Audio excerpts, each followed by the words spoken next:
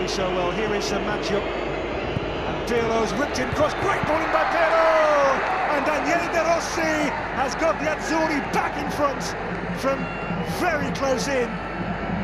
Armenia undone by De Rossi. But Andrea Pirlo's cross there was absolutely pin sharp, picture perfect.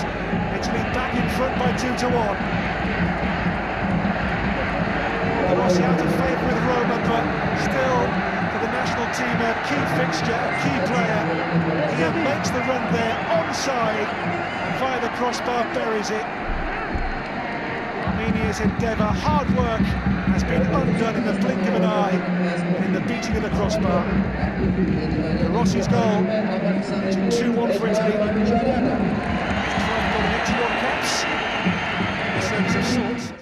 Want to make sure you see all our goals, features, and expert analysis, then remember that you have to subscribe. So press that little button right now.